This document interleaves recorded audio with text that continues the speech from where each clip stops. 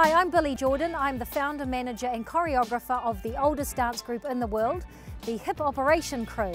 Uh, there are seven members, and the youngest is 71 and the oldest is 96. The average age is 80. Uh, first up, I'm Bibi Rizzle, and I'm 82.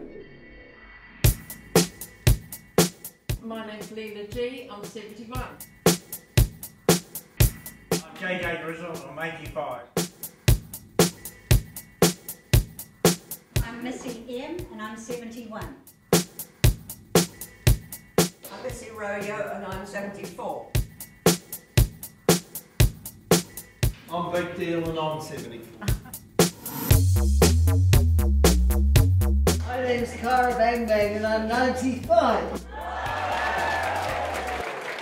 We've got some fresh new young talent. Ladies and gentlemen, introducing Op-eration Crew is about to go down.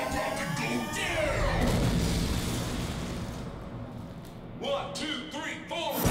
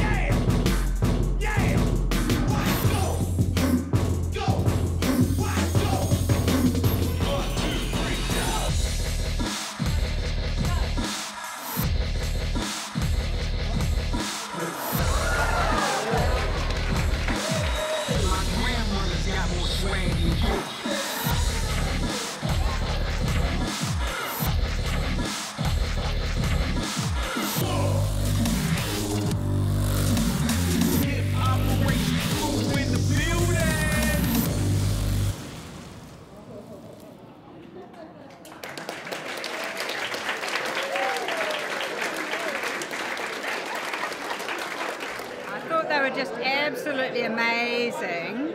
Just uplifted everybody's spirits. With the other foot, you go to 2 o'clock in the afternoon. I think it's all about giving something a go and enjoying life because when you step out of your comfort zone, you can have a wonderful time, and I'm a living proof of that. You put your hands like that. You crouch down and you punch it. One, two, three, and then To think someone of 96 can get up and do all those moves was quite amazing. It also keeps them very young mentally as well as physically.